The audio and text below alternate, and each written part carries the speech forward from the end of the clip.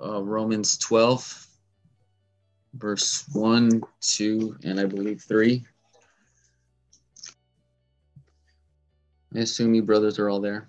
It says, um, Therefore, I urge you, brothers and sisters, in view of God's mercy, to offer your bodies as a living sacrifice, holy and pleasing to God. This is your true and proper worship. Do not conform to the pattern of this world, but be transformed by the renewing of your mind. Then you will be able to test and approve what God's will is, his good, pleasing, and perfect will.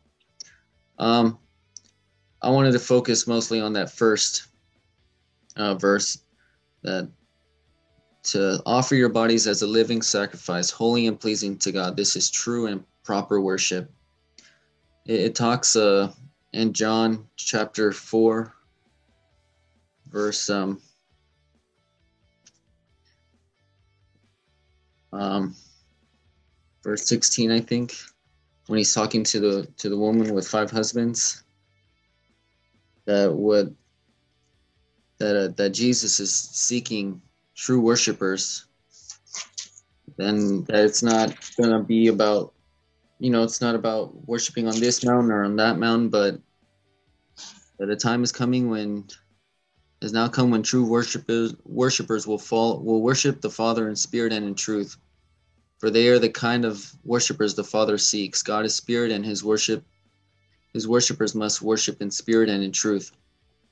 And when it comes to worshiping the Father, it's about being a living sacrifice. It's not just uh, restricted to one area, you know, on one mountain or this mountain, at this church on Sunday at this restricted time, or um, with this music, the way a lot of people think, while the rest of the week you're living life however you want. Yeah, it's not some um, some uh, refuge that a lot of people use. There, there's um, many forms of unacceptable worship, and we see the consequences of those uh, when it comes to certain people. You know, when they touch the ark, or when the uh, but uh, the Ark of the Covenant, or um, the two sons of uh, Aaron. They they worshipped incorrectly, and it's just yeah, and it's it's taken seriously. Worship is a much worship is something we need to take a lot more seriously. Amen, brother Brett. Um, you know the question: What is true worship? Well, verse one tells us that true worship is offering your body a living sacrifice and who was that perfect sacrifice? Jesus Christ, right? Um, how was sacrifice done in the Old Testament? You needed an animal that was uh, without blemish. You know, and here he tells you to present your body that way, present your body as a living sacrifice. So you have to be holy and acceptable towards God. And the only way we can be holy is by being redeemed by Jesus' blood. You see, and and Jesus is what makes us holy and acceptable um, so ain't no point in me thinking I'm worshiping. You mentioned music and stuff like that. If my body is not holy, so if I'm if, if I'm running around committing adultery or committing fornication or living with my girlfriend not married, and I'm going to church and it's Sunday and they're jamming the music and I think I'm worshiping, well, I think I'm going against this Bible verse here. I'm not really presenting my body a living sacrifice. So it really isn't true worship, is it? Are you are you truly worshiping him throughout the week? Is, is what we should be asking him. Right. This Sunday. Yes. Absolutely.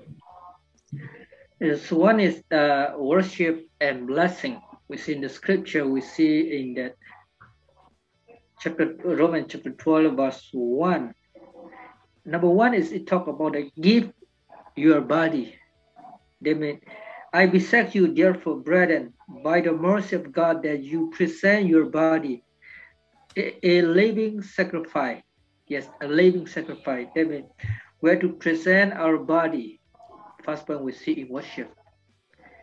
And then nextly we see that uh, Hebrew chapter 11, verse 15 and 16. we see next is in worship, in worship, we see in 16. Let me read verse 15.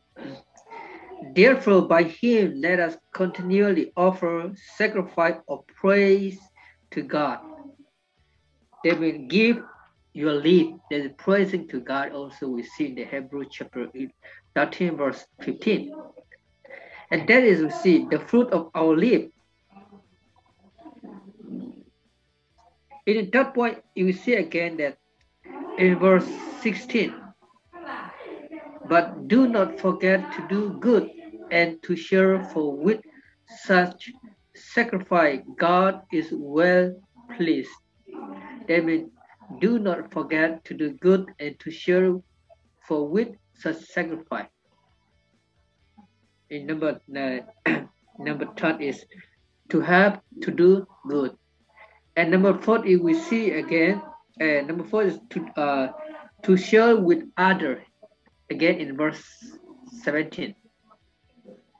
And again, the true worship is see again in Romans chapter 15, verse 16.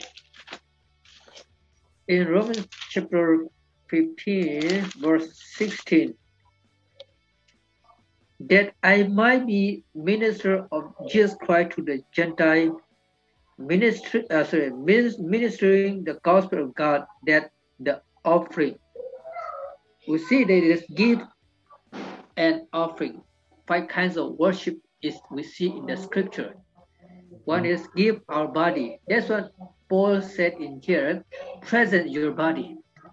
Second, give your lip. That means we have to pray to God, praising, praising.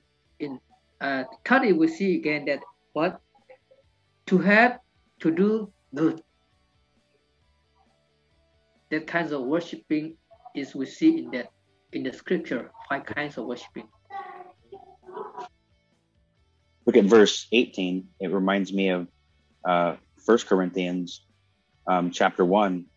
In, in verse 18 here of Romans 15, um, he writes, For I will not presume to speak of anything except what Christ has accomplished through me, resulting in the obedience of the Gentiles by word and deed. And in First Corinthians First Corinthians 2, verse 2, he wrote, For I determined to know nothing among you except Jesus Christ and him crucified. It's a it's a great parallel passage. Um, and in true and proper worship, the believer is going to be consumed by the things of Christ um, by his word.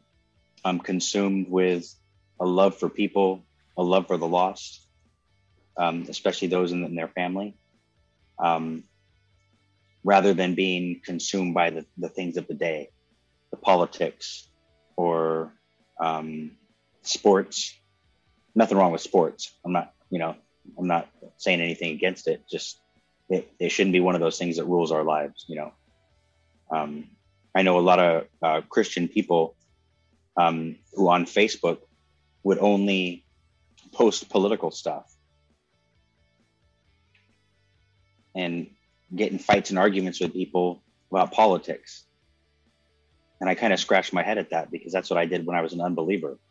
I fought online with people about politics because I was right and they were wrong, of course, you know. Um, so it just it made me it kind of made me scratch my head to say, well, that's if that's the only thing you're posting, you, you know, do you even know the Lord?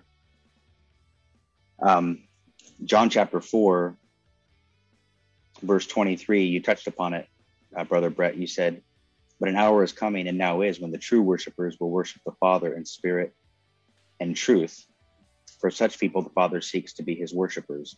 God is spirit, and those who worship him must worship in spirit and truth.